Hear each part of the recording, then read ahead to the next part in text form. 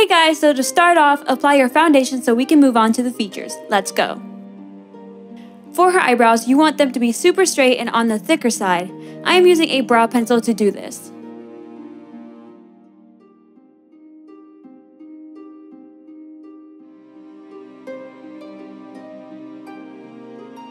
So to change the tone of your eyebrows, take foundation and an eyeshadow brush and brush the foundation over your eyebrows. Do this until your whole brow is covered.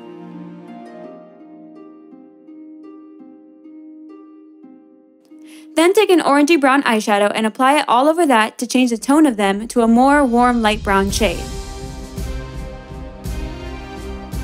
So her eyebrows also have a dip right here, so carve that out with some concealer.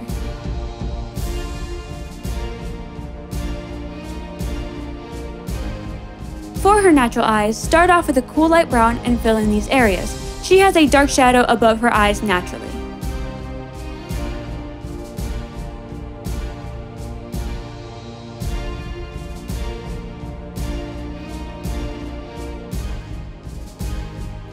You want to follow that shadow into your crease and extend it out like a wing.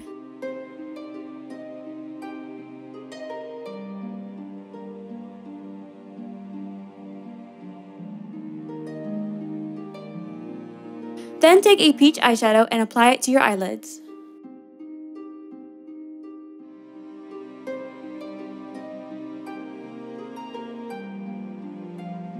So I noticed she also uses very thin eyeliner sometimes, but it's very soft, so to achieve this look, use black eyeshadow as liner and slightly smudge it out.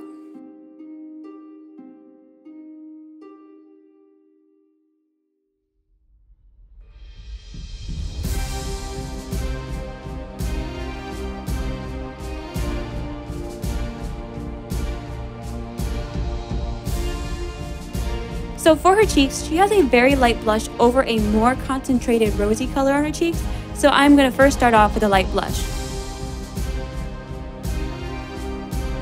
Then taking Chocolate Kiss, which is a lipstick by Besame Cosmetics, I am putting on a few dots and smudging it out. By the way, I'm using this lipstick as a blush because I'm also using it as a lipstick and it's better when they both match the same color. And just a warning, if you have any bumps on your skin, this will make them more prominent as you can see by my right cheek thanks to insomnia. So if you have that, you may want to replace it with a powder. Then to set it down, you're going to just take a translucent powder and dust it all over.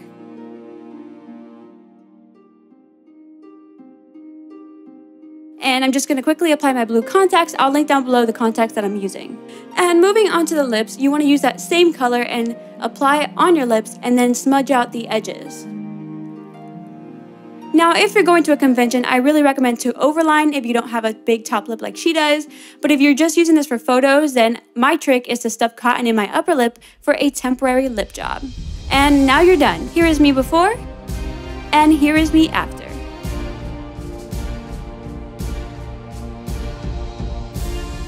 So thank you guys so much for watching. If you enjoyed this, give it a thumbs up to show your support. And if you haven't checked out my last transformation videos, please do. I really hope you guys enjoy the season finale of Game of Thrones, and I will see you guys in my next video.